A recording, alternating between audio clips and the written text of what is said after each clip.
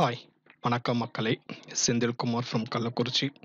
இன்னைக்கு நாம் பார்க்க போகிற current affairs news paper analysis ஜூலை இருபத்தேழு ரெண்டாயிரத்தி இருபத்தி ஒன்று July twenty seven twenty twenty one இன்றைய தேதியில் செய்தித்தாள்கள் வந்திருக்கிற முக்கியமான news exclusive for any type of competitive examinations வீடியோக்குள்ளே போகிறதுக்கு முன்னாடி சேனலுக்கு மறக்காமல் சப்ஸ்கிரைப் பண்ணுங்கள் அப்போ தான் நான் போடுற ஒவ்வொரு வீடியோவும் நோட்டிஃபிகேஷன்ஸ் வரும். உங்களால் பார்க்க முடியும். வீடியோ பிடிச்சதா கண்டிப்பாக லைக் பண்ணுங்கள் உங்கள் ஃப்ரெண்ட்ஸ்ட்டு சொல்லி ஷேர் பண்ணுங்கள் கீழே இருக்கிற கமெண்ட்டில் உங்கள் ஃபீட்பேக் அண்ட் சஜஷன்ஸ் மறக்காமல் தந்துருங்க.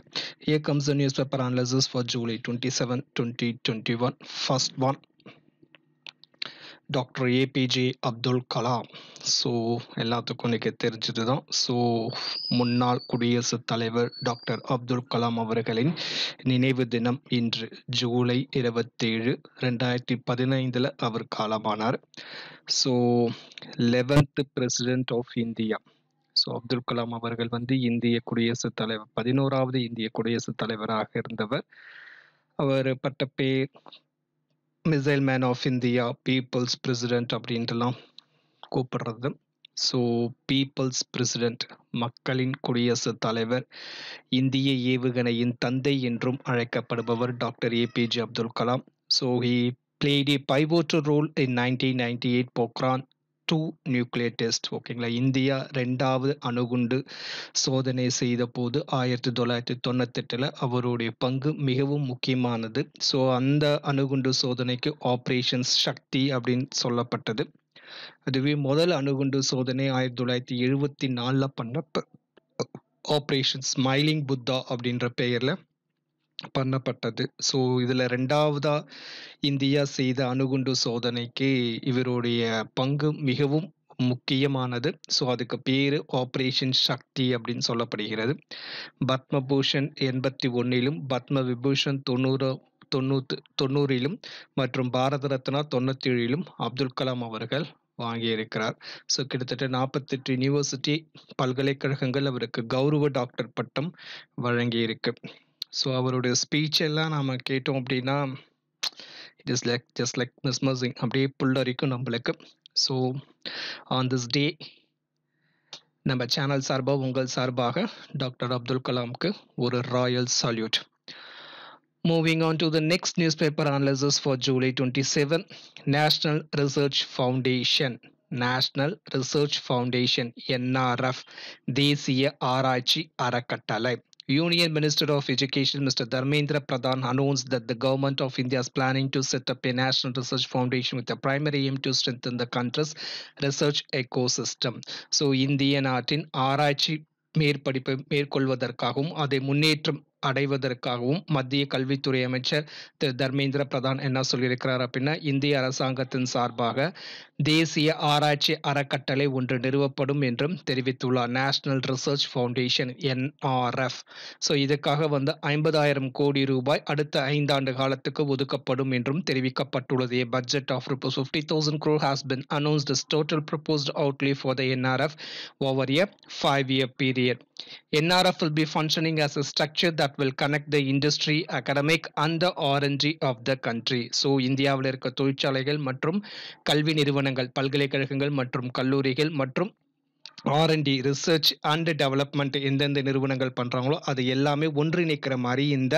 நேஷ்னல் ரிசர்ச் ஃபவுண்டேஷன் செயல்படும் அப்படின்னு சொல்லிட்டு ஒன்றிய கல்வித்துறை அமைச்சர் திரு தர்மேந்திர பிரதான் அவர்கள் சொல்லியிருக்கிறார் ஸோ இதுக்கு முக்கியமான குறிக்கோள் என்ஆர்எஃப் கொண்டு வரதுக்கு என்னென்னா இப்போ நிறையா ஏஷியன் கண்ட்ரஸ்லேயே என்ஆர்எஃப் தனியாக இருக்குது NRF Singapore NR NRF Korea அப்படிங்கிறதுலாம் ரொம்ப ஃபேமஸ் ஆனது.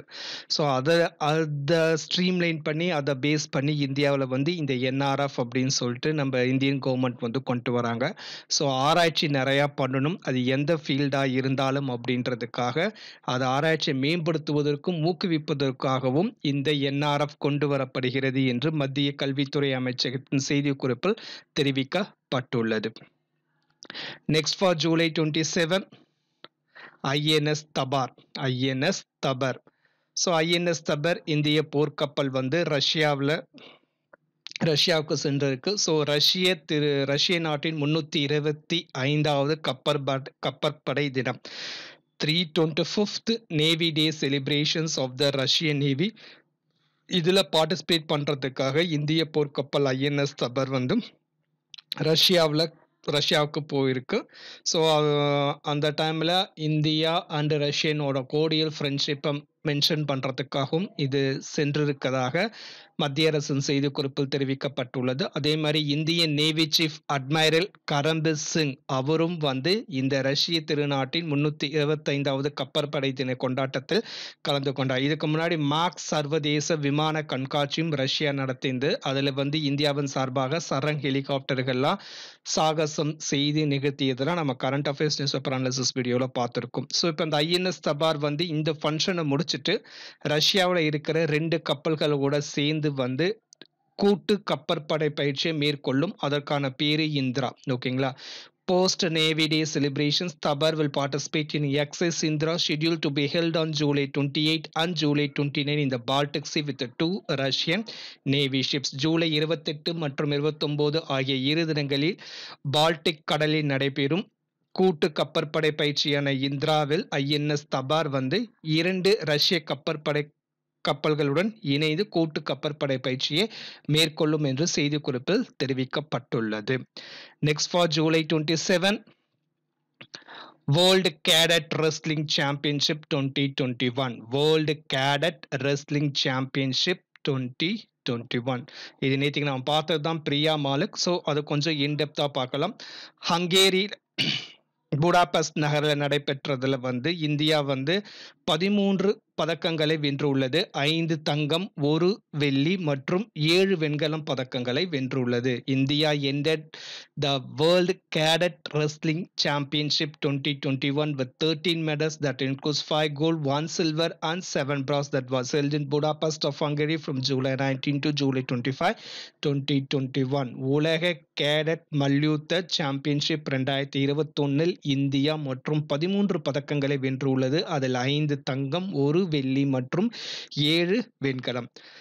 ஸோ இந்த கேடட் ரெஸ்லிங் சாம்பியன்ஷிப் அப்படிங்கிறது பதினாறுலேருந்து பதினேழு வயசுக்குள்ளே இருக்கிற பிளேயர்ஸ் மட்டும் பார்ட்டிசிபேட் பண்ணுற மாதிரி வருடம் தோறும் இது நடைபெறும். பதினாறுலேருந்து பதினேழு வயசு உள்ள இருக்கிற பிளேயர்ஸ் மட்டும் இதில் பார்ட்டிசிபேட் பண்ணுற மாதிரி. இந்த ரெண்டாயிரத்தி இருபத்தி ஒன்று இந்த போட்டியில் வந்து இந்திய ஆடவர் அணி வந்து ஃப்ரீ ஸ்டைல் சாம்பியன்ஷிப் பட்டத்தை ஒட்டுமொத்தமாக வென்றுள்ளனர். ஃப்ரீ ஸ்டைல் சாம்பியன்ஷிப் பட்டத்தை வென்றுள்ளனர். இந்திய மகளிர் அணி வந்து இரண்டாம் இடம். வெள்ளி பதக்கத்தை தட்டி சென்றுள்ளனர். ஸோ இதில் அஞ்சு தங்க பதக்கங்களை வென்றவங்க வந்து ஆமன் குலியா ஆடவர் நாற்பத்தெட்டு kilogram freestyle wrestling Sagar Jaglan ஆடவர் எண்பது kilogram freestyle wrestling Priya Malik பெண்கள் எழுபத்தி மூணு கிலோ மல்யுத்தம் தானு பெண்கள் நாற்பத்தி மூணு கிலோ மல்யுத்தம் கோமல் பாஞ்சல் மகளிர் நாற்பத்தி ஆறு கிலோ மல்யுத்தம். ஸோ இந்த ஐந்து பேர் தான் வந்து இந்த வேர்ல்டு கேடட் ரெஸ்லிங் சாம்பியன்ஷிப்பில் தங்கப்பதக்கத்தை ஜெய் ஜெயிச்சிருக்கிறாங்க. So sorry for the type of mistake next for July twenty seven India in top ten list of agri produce exporters so India முதல் பத்து இடத்துக்குள்ள உலக அளவில் வந்திருக்கு. எதில் அப்படின்னா விவசாய பொருள் ஏற்றுமதி செய்ததில் வந்து இந்தியா வந்து முதல் பத்து இடத்துக்குள்ள வந்திருக்கிறதாக உலக வர்த்தக மையம் வேர்ல்ட் ட்ரேட் ஆர்கனைசேஷன் வந்து அறிக்கை வெளியிட்டிருக்காங்க. ஸோ கடந்த இருபத்தைந்து ஆண்டுகளாக ஓகேங்களா கடந்த இருபத்தைந்து ஆண்டுகளாக அக்ரி ப்ரொடியூஸ் எக்ஸ்போர்ட்டர்ஸில் நடத்திட்டு வர ஒரு அந்த ஏற்ற இறக்கங்களை பற்றி உலக சுகா சாரி உலக வர்த்தக மையம் வந்து ஒரு அறிக்கை வெளியிட்டிருக்கு. உலகம் வந்தாலே சுகாதார மையமே வந்துருச்சு இந்த கொரோனானால. Sorry for that as per the world trade organisation India has got the place among the top ten list of the countries exporting agriculture produce in the year twenty nineteen in the world agriculture trade in the recent twenty five years India has surpass New Zealand to be rank at the ninth spot இதுக்கு முன்னாடி New Zealand இருந்த இடத்தை இப்ப India தக்க வைத்துக் கொண்டிருக்கு. ஒன்பதாவது இடத்தை இந்தியா பிடித்துள்ளது. India accounts for three point one percent share of the rice cotton soybeans and meat in the global agri export சர்வதேச சந்தையில் வந்து அரிசி பருத்தி சோயாபீன் மற்றும் இறைச்சி ஏற்றுமதியில் இந்தியாவின் பங்கு மூன்று புள்ளி ஒன்று சைபர் சதவிகிதமாக உள்ளதாக உலக வர்த்தக மையம் தெரிவித்துள்ளது.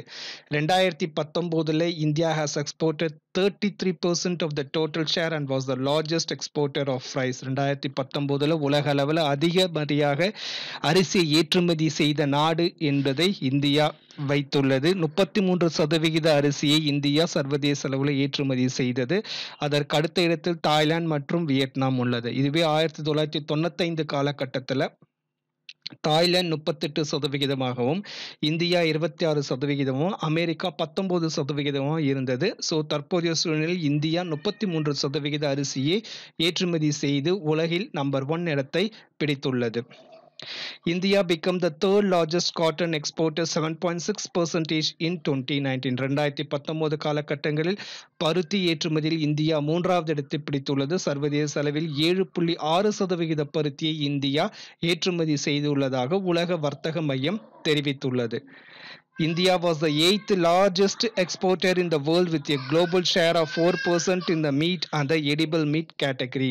So உலக அளவில் வந்து இறைச்சி ஏற்றுமதியில் வந்து இந்தியா வந்து எட்டாவது இடத்துல இருக்கு அதனுடைய பங்கு நான்கு சதவிகிதமாக உள்ளது next for July twenty seven twenty twenty one exercise cutlass express twenty twenty one exercise cutlass express twenty twenty one so இது வந்து ஒரு கூட்டு கப்பற்படை பயிற்சி. பல்வேறு நாடுகள் பங்கேற்கின்றன ஆப்பிரிக்க கண்டத்தின் கிழக்கு கடற்கரை ஓரமாக இது நடைபெற நடைபெறுகிறது. ஈஸ்டர்ன் கோஸ்ட் ஆஃப் ஆப்பிரிக்கா நடைபெற்று கொண்டிருக்கிறது. Eastern coast of Africa so இந்தியாவின் சார்பாக ஐஎன்எஸ் தல்வார் கப்பல் வந்து இந்த கூட்டு கப்பற்படை பயிற்சியில் பங்கெடுத்துக்கு உள்ளது This maritime exercise is held annually and it is conducted to promote regional and national maritime security in the Western Indian Ocean and the East Africa. So மேற்கு இந்திய பெருங்கடலிலும் மற்றும் கிழக்கு ஆப்பிரிக்க கடல் ஓரத்திலும் இருக்கும் நாடுகள் இணைந்து இது செயல்படுத்தும் அப்படின்னு சொல்லப்படுகிறது அந்த பிராந்தியத்தில் அந்த கடல்சார் போக்குவரத்து துரிதமாகவும் சேஃபாகவும் நடைபெறுவதற்காகவும் ரீஜனல் கனெக்டிவிட்டியை மேம்படுத்துவதற்காகவும் இந்த கட்லாஸ் எக்ஸ்பிரஸ் கூட்டு பயிற்சி வருடந்தோறும் நடைபெறும். ஸோ இந்த ரெண்டாயிரத்தி இருபத்தி ஒன்றில் கிட்டத்தட்ட பனிரெண்டு கிழக்கு ஆப்பிரிக்க நாடுகள் அதோடு இல்லாமல் இந்தியா அமெரிக்கா மற்றும் இங்கிலாந்து நாடுகளின் கப்பற்படையும் இந்த கூட்டு கப்பற்படை பயிற்சியில் பங்கெடுத்துள்ளன. Twelve East African countries and India United Kingdom and United States of America இதோட இல்லாமல் சர்வதேச அமைப்புகள் நிறையாவும் இன்டர்போல் அந்த மாதிரி இருக்கிற அமைப்புகளும் இந்த கூட்டு கடற்படை பயிற்சியில் பங்கெடுத்து கொள்ளன. Exercise cutlass express twenty twenty one next for July twenty seven twenty twenty one two bills passed in Lok Sabha மக்களவையில் இரண்டு மசோதாக்கள் நிறைவேற்றப்பட்டுள்ளன. ஸோ எதிர்கட்சிகள் நிறைய போராட்டங்கள் சர்ச்சைகள் இந்த ஸ்பைவேர் அந்த இது விவசாயிகள் போராட்டம் அந்த நடுவில் வந்து மக்களவையில் இரண்டு மசோதாக்களை இந்திய அரசாங்கம் நிறைவேற்றுள்ளது இந்த மான்சூன் செஷன் ஆஃப் பார்லிமெண்ட்ல நிறைவேற்றப்படுகிற முதல் மசோதாக்கள் இது. Lok Sabha passed factoring amendment bill which seeks to widen the scope of entities which can engage in factoring business தொகை மீட்பு நடைமுறை ஃபேக்டரிங் சட்ட திருத்த மசோதா நிறைவேற்றப்பட்டுள்ளது. அதே மாதிரி ரெண்டாவது வந்து national institutes of food technology entrepre entrepreneurship and management bill twenty twenty one உணவு தொழில்நுட்பம் தொழில் தொடங்குதல் தேசிய நிறுவனங்கள் மசோதா ரெண்டாயிரத்தி இருபது. இந்த ரெண்டு மசோதாக்கள் மக்களவையில் நிறைவேற்றப்பட்டுள்ளன. ஸோ இந்த national institute of food technology entrepreneurship and management bill twenty twenty one முக்கிய அம்சம் என்ன அப்படின்னா it will give the institutions of national importance ஓகேங்களா இன்ஸ்டிடியூஷன்ஸ் ஆஃப் நேஷனல் இம்பார்ட்டன்ஸ் தேசிய முக்கியத்துவம் வாய்ந்த கல்வி நிறுவனங்கள் என்ற டேகை வந்து ரெண்டு நிறுவனங்களுக்கு இது தரும். ஒன்று வந்து தமிழ்நாடு தஞ்சாவூரில் இருக்கிற IIF PT Indian institute of food processing technology Indian institute of food processing டெக்னாலஜிக்கு அது தரும். அதே போல் ஹரியானா மாநிலத்தில் இருக்கிற குண்ட்லி நகரில் இருக்கிற NIFTEM national institute of food technology entrepreneurship and management இந்த ரெண்டு இன்ஸ்டிடியூட்டுக்கும் வந்து institutions of national importance tag இந்த மசோதா மூலம் தரப்படும். ஸோ இப்போ லோக்சபாவில் பிஜேபிக்கு மெஜாரிட்டினால ஈஸியாகவே பாஸ் பண்ணிட்டாங்க. இப்போ அடுத்தது ராஜ்யசபாக்கு இந்த மசோதா போகும். அங்கேயும் அதை நிறைவேற்ற வேண்டும். அதுக்கப்புறம் குடியரசுத் தலைவர் தலைவருக்கு அனுப்பி கையெழுத்து வாங்க வேண்டும். Next for July twenty seven twenty twenty one West Bengal panel to look into snooping so Pegasus இஸ்ரேலியோட spyware உளவு பார்ப்பது ஒட்டு கேட்பதாக செய்திகள் கசிந்த வண்ணத்தில் பாராளுமன்றம் நடக்க விடாமல் எதிர்க்கட்சிகள் வந்து அமளி துமளி ஈடுபட்டு கொண்டிருக்கும் இந்த நேரத்தில் மேற்கு வங்க அரசாங்கம் ஒரு குழுவை அமைத்து இதை பற்றி விசாரிப்பதற்காக ஒரு குழுவை அமைத்துள்ளது மேற்கு வங்க அரசாங்கம். West Bengal government set up and enquiry commission to look into the allegations of snooping on politicians activist and journalist using the Israeli spyware Pegasus The commission comprises of the retired Supreme Court Judge Madan B. Lokur and former Calcutta High Court Chief Justice Jyotirmay Bhattacharya. So இந்த குழுவுக்கு வந்து ரெண்டு பேர் மேற்கு வங்க அரசாங்கம் நியமித்துள்ளது ஓய்வு பெற்ற உச்ச நீதிபதி உச்ச நீதிமன்ற நீதிபதியாக இருந்த மதன் பி லோகூர் மற்றும் கல்கத்தா உயர் நீதிமன்றத்தின் ஓய்வு பெற்ற தலைமை நீதிபதி ஜெயத்ரிமி பட்டாச்சாரியா ஆகிய இருவர்கள் தான் இந்த பெகசஸ் விஷயத்தை பற்றி ஆராய்வார்கள் என்று மேற்கு வங்க அரசாங்கம் செய்திக்குறிப்பில் தெரிவிக்கப்பட்டுள்ளது. West Bengal is the first states to set up and enquiry commission into the Pegasus spyware இந்த பெகசஸ் ஸ்பைவர் இஷ்யூ வந்ததுக்கு அப்புறம் இது மாதிரி முதல் முறையாக ஒரு பேனலை நியமித்து விசாரிப்பது மேற்கு வங்கம் தான் முதல் மாநிலமாக உள்ளது.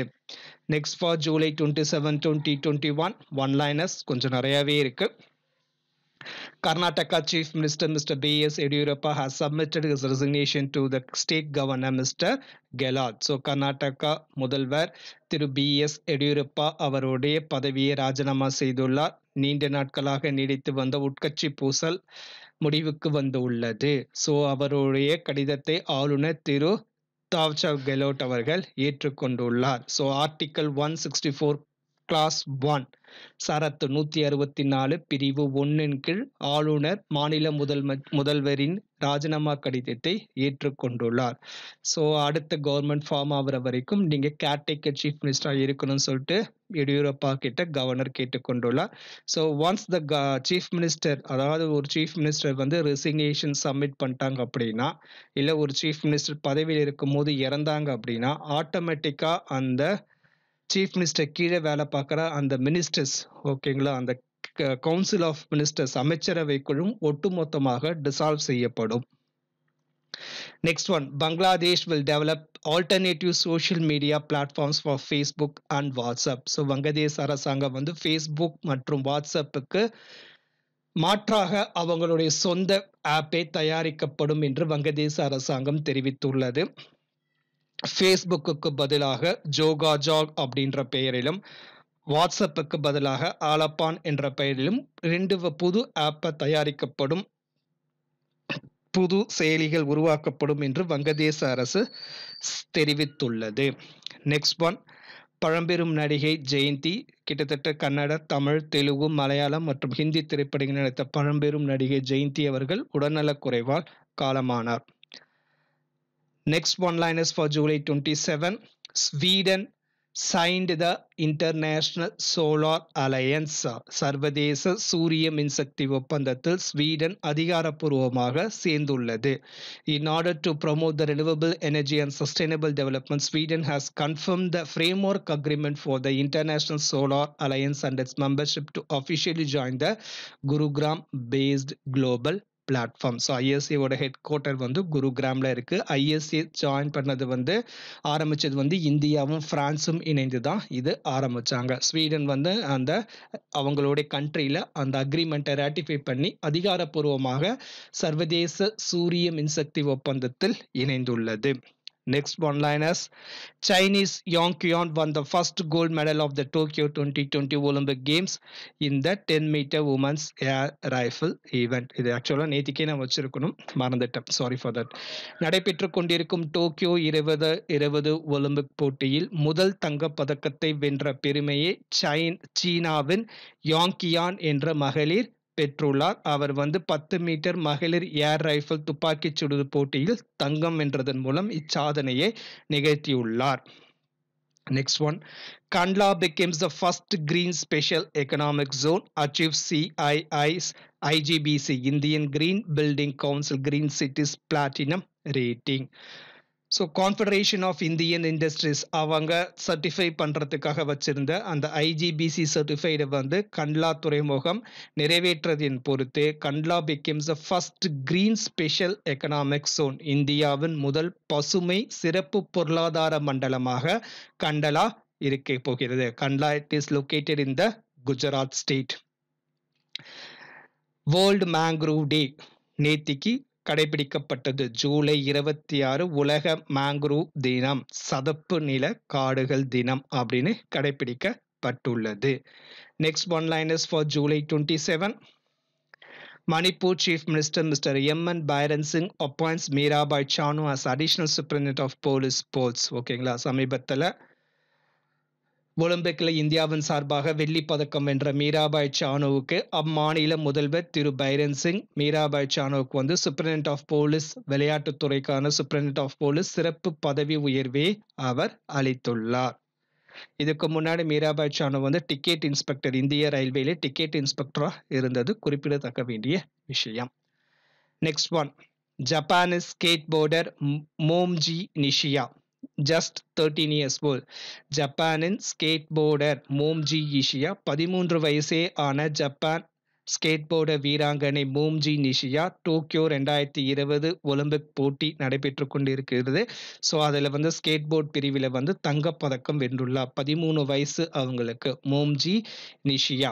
So she became one of the youngest gold medallist ever at the Olympic game so கிட்டத்தட்ட வந்து யங்கஸ்ட் அப்படின்னு சொல்லப்படுகிறது. ஆனால் இது வரைக்கும் நடைபெற்ற ஒலிம்பிக் போட்டியிலே ரொம்ப சிறு வயதில் பதக்கம் வென்றது யாரு அப்படின்னா மரோஜோரி கெஸ்ட்ரிங் அப்படிங்கிறது ஆயிரத்தி தொள்ளாயிரத்தி முப்பத்தி ஆறு பெர்லின் கேம்ஸில் அவங்க வந்து நுப் பதிமூணு வயசு இரநூத்தி அறுபத்தெட்டு நாள் அந்த மரோஜ்ரி கெஸ்ட்ரிங் அப்படிங்கிறவங்க. She is the world record the youngest athlete to win the Olympic medal அப்படின்னா மரோஜோரி கெஸ்ட்ரிங் அப்படிங்கிறது தாங்க ஆயிரத்தி தொள்ளாயிரத்தி முப்பத்தி ஆறு பெர்லின் ஒலிம்பிக் கேமில் அவங்க ஜெயிச்சது ரெக்கார்டு அது.